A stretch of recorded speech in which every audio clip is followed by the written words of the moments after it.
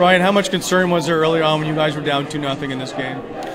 Well, we weren't really working uh, efficiently. Um, we gave a couple turnovers at the blue line. They're really good at countering. Um, they kind of waited for us at times in the neutral zone, and when we gave them turnovers, that gave them momentum. As the game developed, we got better chances.